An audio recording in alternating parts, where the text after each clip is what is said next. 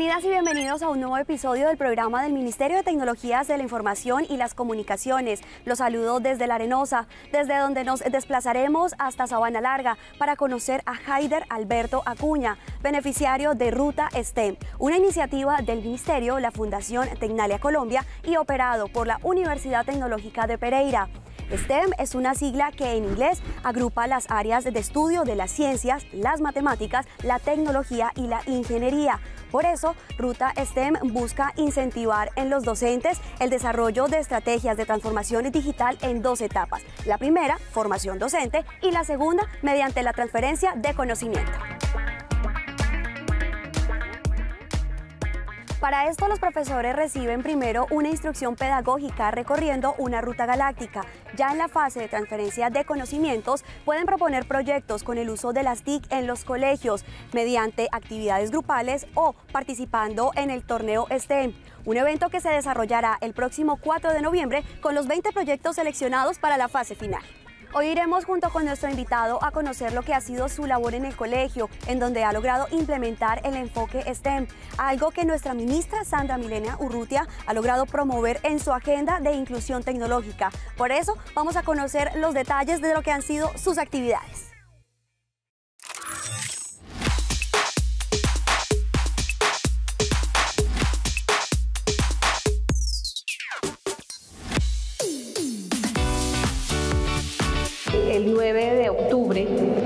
El Día Mundial del Correo establecido por la Unión Postal Universal y lo que buscamos resaltar es el rol de la humanidad a través de los diferentes servicios postales que buscan el cuidado del medio ambiente que sea sostenible y que resguarde la riqueza natural que tiene nuestro país. Es excelente poder compartir hoy el lanzamiento de esta emisión en el Día Mundial del Correo y realmente que es una actividad que para los filatelistas nos enorgullece, nos enriquece. La idea es volver a conectar o volver a incentivar la conexión a través de y la comunicación a través del uso de las estampillas, a través de las postales. Así como otros más de 150 países se han sumado a esta iniciativa de conmemorar el Día Mundial del Correo, eh, un evento o una solicitud que nos ha llegado desde la Unión Postal Universal para que justamente nos adhiramos a esta iniciativa.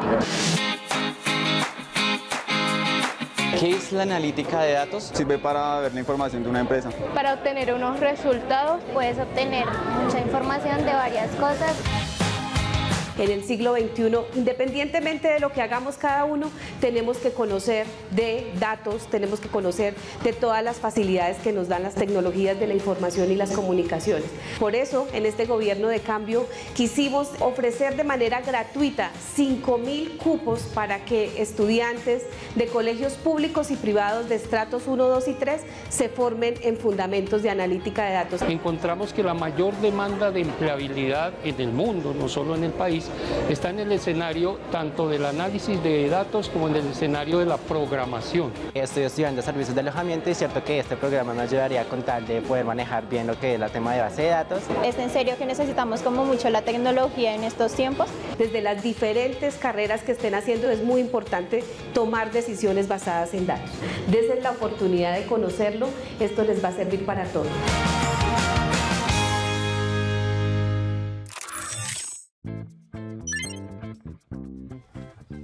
Y nosotros hemos llegado a cumplir la cita al profesor Haider Acuña, a quien le agradecemos el haber aceptado nuestra invitación aquí en el programa del Ministerio de Tecnologías de la Información y las Comunicaciones. Profe, ¿cómo estás? Muy bien, Luisa. Espero que estés muy bien. Bienvenida. Esta es nuestra institución, eh, San Pedro Claver, de acá de Cascajal. Y adelante. Vamos.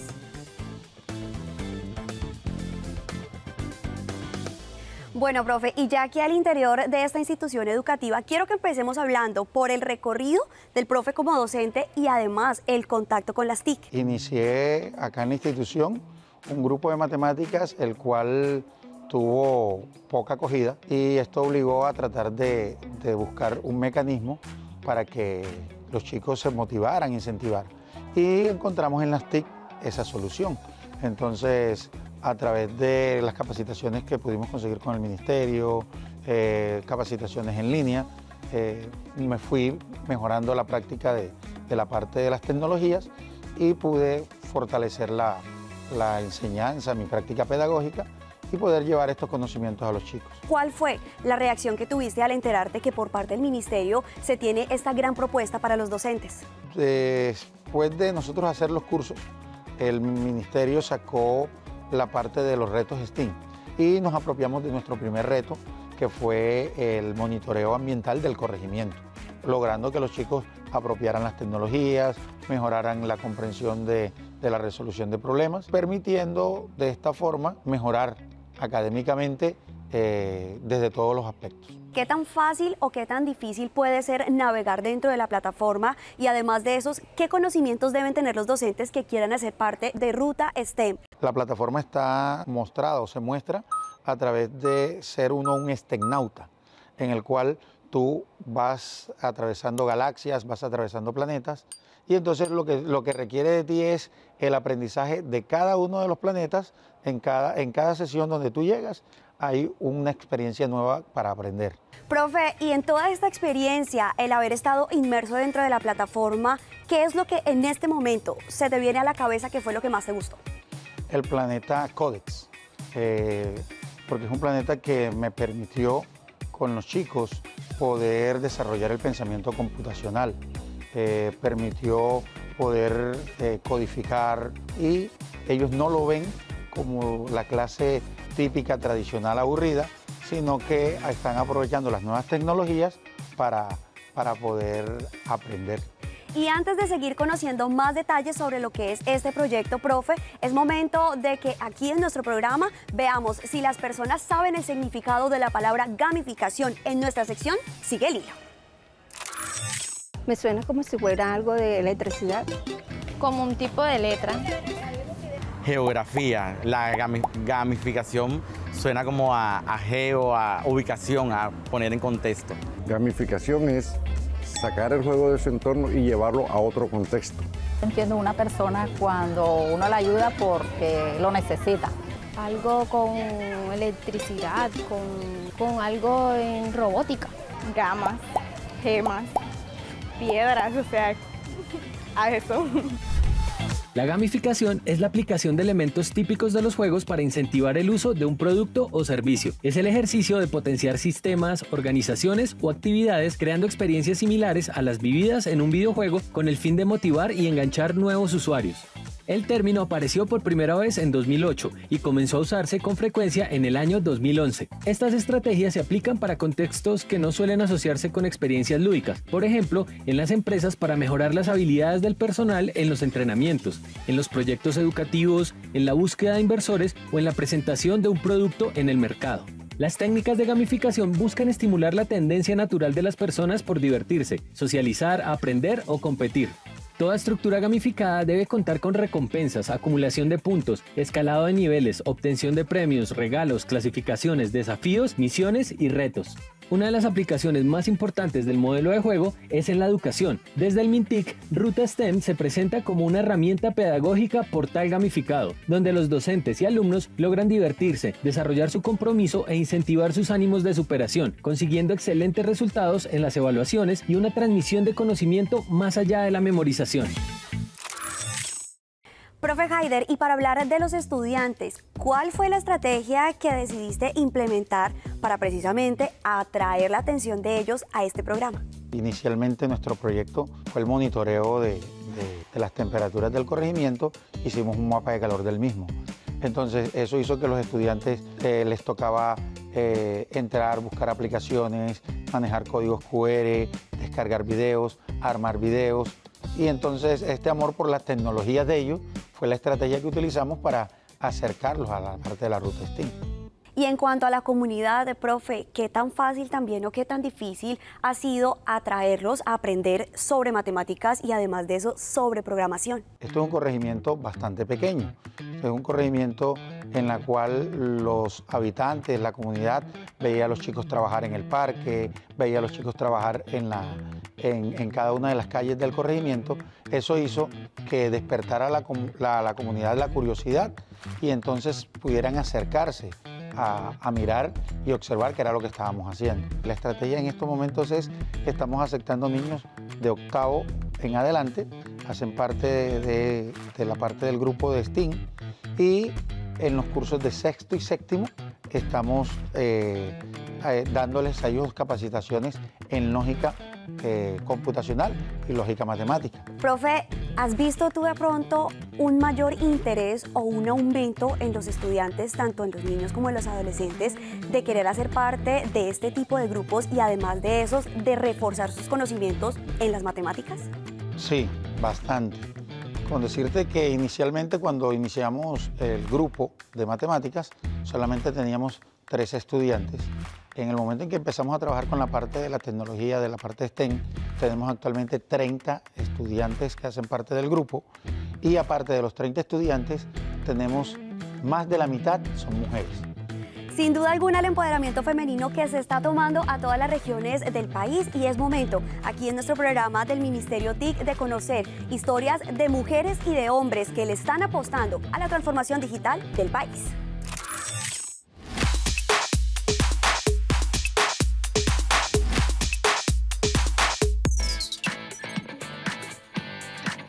Computadores para Educar eh, es un programa que nos ha venido apoyando a través de dotaciones y capacitaciones. Estamos agradecidos con Computadores para Educar, ya que gracias a ellos llevamos a cabo nuestras actividades y sobre todo que el estudiante se motive y siga implementando estos conocimientos día a día.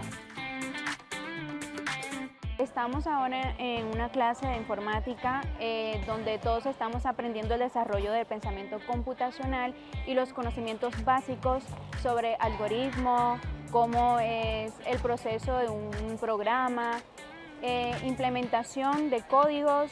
Aquí la sala de informática se utiliza en los últimos años para trabajar el desarrollo del pensamiento computacional eh, basado en la programación para niñas y niños, eh, apoyados por Computadores para Educar, Mintit, el Ministerio de Educación y el British Council. Colombia necesita de este tipo de programas de computadores para educar porque permite llegar a niños, niñas, adolescentes y jóvenes que están en proceso de formación en las diferentes instituciones educativas. Estamos agradecidos y esperamos obtener más de estos equipos para así poder incluir más estudiantes en este desarrollo. Gracias a estos insumos, a estos instrumentos, a estos equipos, podemos hacer una generación en la que no tenga barreras, una generación en la que le, le interese y le importe mejorar la Colombia actual.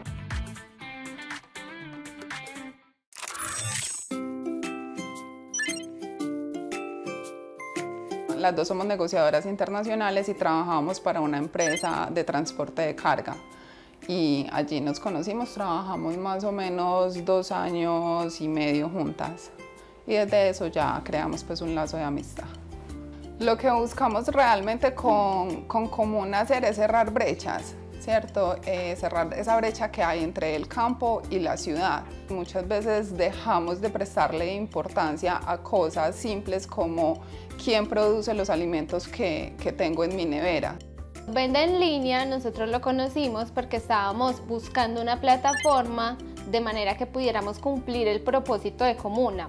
Entonces, buscando en redes sociales encontramos que Vende en línea nos podía ayudar a darnos una plataforma en la que pudiéramos realmente materializar ventas y mostrar los productos tanto de campesinos como de emprendedores, que pues es finalmente lo que quiere hacer Comuna. Vende en línea nos brindó como toda la asesoría de cómo se montan tanto las imágenes, los productos dentro de la plataforma, nos toca aprender, entonces somos desde la fotógrafa, desde la que hace la edición, o sea, todos los procesos los realizamos nosotros, pero en este caso en especial, claro que la plataforma pues fue por medio de esta asesoría. Yo le diría a todos los emprendedores, todos los amigos, toda la gente, a que se animen a crear. Y finalmente que piensen en un propósito y de qué es lo que quieren y de qué tienen dentro de, dentro de sí mismos para darle a otros, ¿cierto? Esto se dio fue porque las dos buscamos cómo aportar un poco más a la sociedad y cómo crear un mundo mejor desde el metro cuadrado que, que, que habitamos. Profe Haider, ya para entrar en materia de lo que es el proyecto, ¿podrías contarnos por favor de qué se trata y por qué seleccionaron esta problemática? Bueno, el proyecto consiste en el modelaje de unas compuertas automáticas para el embalse del Guájaro. El embalse del Guájaro es un una fuente de agua eh, que tenemos aquí en el Atlántico, el cual recibe el agua a través del canal del dique. Hay unas compuertas que permiten la entrada y salida de agua, pero el mal manejo de estas compuertas hace que en épocas de invierno vivan las poblaciones, 13 poblaciones que están alrededor, eh, problemas de inundación. Y que en épocas de verano, de sequía, tengan los campesinos eh, no la posibilidad de poder tener agua para sus, sus cultivos. Entonces lo que los chicos están haciendo es un modelaje de las compuertas que permita automáticamente a través de análisis numérico de poder manejar las compuertas y entrada y salida de agua de una forma eficiente. Y en el caso del torneo actual en el que están participando, ¿qué categorías escogieron y por qué?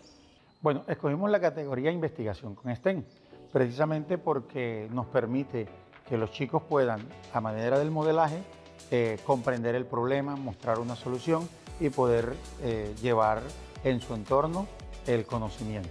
Para los estudiantes y los docentes que nos están viendo en este momento y todavía no han logrado comprender muy bien qué es esto del torneo, ¿qué le puedes explicar, profe? Bueno, el torneo STEM es una, una herramienta eh, que tiene el Ministerio para poder presentar nosotros los proyectos que desarrollamos en el aula mediante el aprendizaje que hemos tenido de los cursos STEM que hemos hecho. Es decir, si miramos, es una plataforma que permite poder llevar el conocimiento que hay en cada escuela, en cada uno de los docentes que ha recibido eh, la enseñanza y el trabajo que está haciendo con los estudiantes. Y nuestro programa es justamente esa vitrina con la cual queremos que todos conozcan estos proyectos que se vienen desarrollando a nivel nacional. Y mientras nosotros preparamos todo lo que necesitamos para que ustedes puedan comprender mejor lo que está pasando aquí en esta institución educativa, vamos a abrir nuestra base de datos porque el día de hoy vamos a aprender sobre qué es la escala de Kardashev.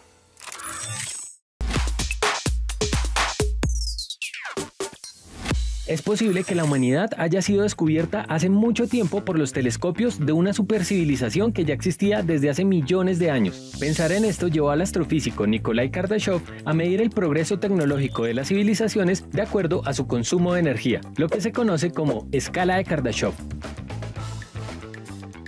Gracias a los aportes de otros científicos, actualmente la escala se clasifica en siete categorías. El primer paso evolutivo de la civilización es la tipo cero, en la que las fuentes de energía son los recursos del planeta que están almacenados. La humanidad se encuentra en esta fase debido a que aún depende de los minerales y combustibles fósiles en gran medida. Sin embargo, el físico Freeman Dyson estimó que podríamos llegar a ser en un par de siglos una civilización tipo 1, en la que hay un control total de la energía de la Tierra. Podremos manipular el clima, los volcanes o los terremotos. Se cree que pueden existir varias civilizaciones de este tipo, pero aún no tienen la tecnología necesaria para entablar contacto. Siguiendo con los cálculos, dentro de 11.200 años es posible que lleguemos a ser una civilización tipo 2, capaz de usar la energía de su estrella y su sistema planetario. Una megaestructura conocida como enjambre Dyson obtendría la energía del Sol. Si conociéramos en este momento a una civilización de este tipo, seguramente nos verían como nosotros vemos a las hormigas. Finalmente, entre 100.000 y un millón de años llegaríamos a ser una supercivilización, la tipo 3, capaz de usar la energía de una galaxia entera. Se descubrirían nuevas leyes de la física, se controlará la materia oscura, se viajará más rápido que la velocidad de la luz, se colonizarán y controlarán varios sistemas solares. Las demás categorías contemplarían las civilizaciones tipo 4, 5 y Omega, esta última capaz de manipular todo el universo. Se dice que fueron ellos los creadores del Big Bang.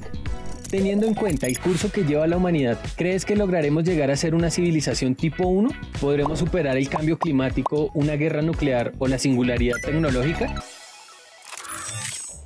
Y nosotros hemos llegado aquí hasta uno de los salones donde ocurre toda la magia y se encuentran, por supuesto, todos los implementos establecidos para el desarrollo de este proyecto y también nos acompañan en este momento dos estudiantes, Yurleilis y Valerie. Ellas hacen parte de este equipo, de esta institución y quiero empezar hablando, chicas, de algo muy importante y es ¿por qué tomaron la decisión de hacer parte de este proyecto liderado por el profesor? Me llamó mucho la atención ya que no entendía sobre la tecnología y me iba muy mal en matemática y eso me ayudó a comprender muy bien la tecnología. Valerie, en tu caso, ¿cuál de las herramientas que ha podido traer el profesor a la aula de clases y que tiene que ver con retos STEAM has podido aprender? He aprendido a trabajar con las microbytes, con los servomotores y los sensores. Y sin más preámbulo, quiero que por favor ustedes dos nos expliquen de qué se trata el proyecto que están desarrollando. Este es el río Magdalena. Aquí tenemos una bomba que lleva el agua al canal del dique. Aquí tenemos unos sensores que miden el nivel del agua. Y también tenemos una bombita que es la que semeja a la lluvia.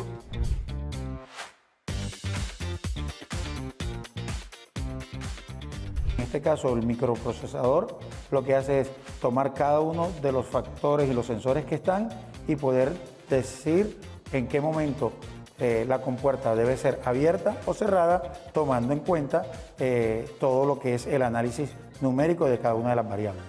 ¿Cuál es la importancia de que más docentes y más estudiantes a nivel nacional se animen y hagan parte de este torneo? Le diría a los compañeros, ¿por qué es importante trabajar esto?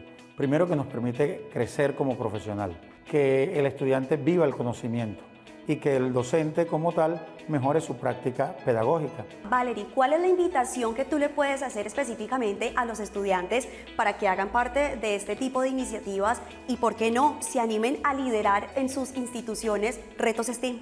Los invito a que se unan para que nos apoyen y que esto es muy divertido hacerlo, ya que trabajamos en grupo y nos ayudamos unos con los otros y aprendemos demasiado sobre la tecnología. Quiero agradecerles al profesor, a los estudiantes que hacen parte de esta institución educativa. Muchas gracias por habernos permitido el ingreso, por permitirnos conocer este proyecto y por supuesto yo espero que ganen este torneo. Muy contentos con la experiencia que tenemos con estos chicos pueda llegar a los compañeros en cualquier parte del país y poder motivarlos en iniciar la ruta STEM. Ruta STEM que por supuesto continuamos con las puertas abiertas para todos los colombianos y es momento aquí en nuestro programa de conocer cuáles son los cinco consejos que nos tiene el día de hoy Carolina en nuestro TikTok y que tiene que ver con WhatsApp.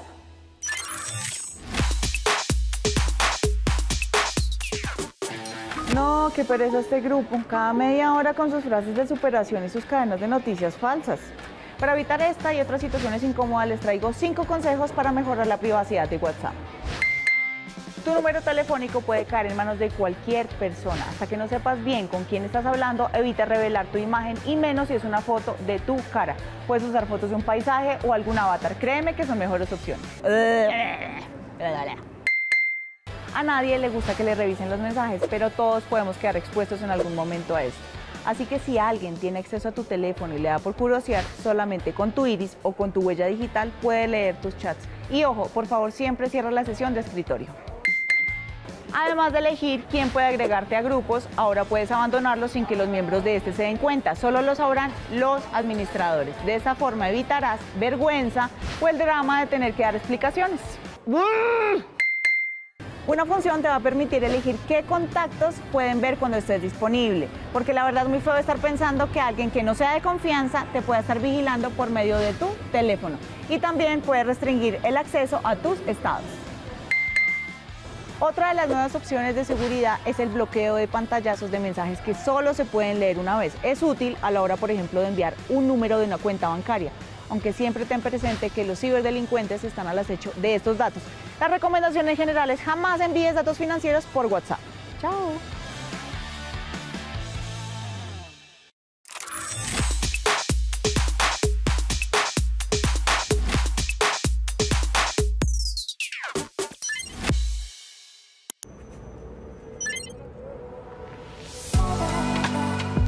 Pensamientos intrusivos eran muchos, la ansiedad era bastante y más con el tema de la zozobra de no saber qué iba a pasar dentro del término de una pandemia, económicamente.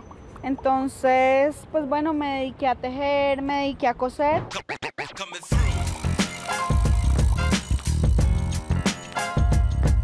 Y fue una alternativa para ayudar a sopesar un poco el tema de la tristeza, de la ansiedad, de la depresión y por medio del cual también generé ingresos.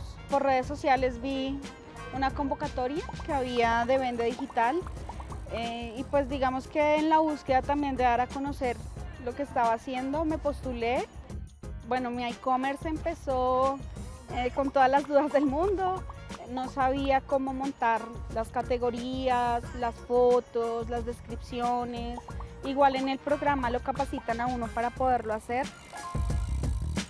Ha sido muy satisfactorio y muy agradable también para mis clientes ingresar, poder ver los colores, lo que me identifica como marca, como persona también, porque pues detrás de una marca está una persona y en una marca está plasmado lo que es una persona. Entonces mm, es como mostrar un pedazo de lo que tú eres.